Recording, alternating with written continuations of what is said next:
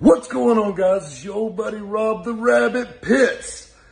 I tell you what, I'm so excited. I literally just got back in town for filming an all new automotive show for Netflix, but I'm going to tell you something. We ain't talking about that right now. My old buddy Chiro hit me up while I was over there. He goes, Hey, Rabbit, you want to come to the UK? And you know what I said? Okay, let's go.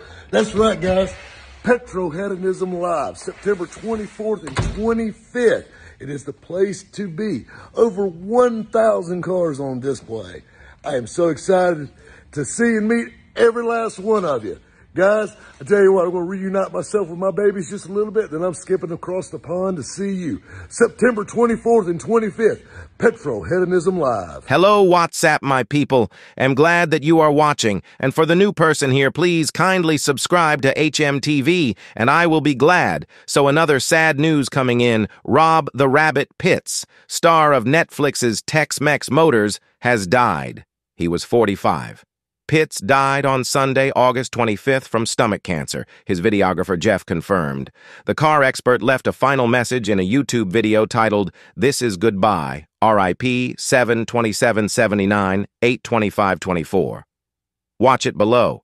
I started feeling off after SEMA, a car show in Las Vegas last year, and I was losing weight, Pitts explains in the video with Jacob Lincoln's Too Late playing.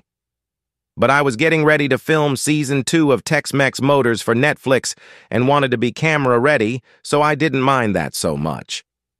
Pitts explained that during the filming of the Netflix series, he started to lose his appetite and had more and more acid reflux-like symptoms. He said he went to urgent care several times, but didn't get to the root of the problem. Pitt's castmate Jaime took him to the ER, believing it was a gallbladder issue, and this was when he found out in March that he had stomach cancer.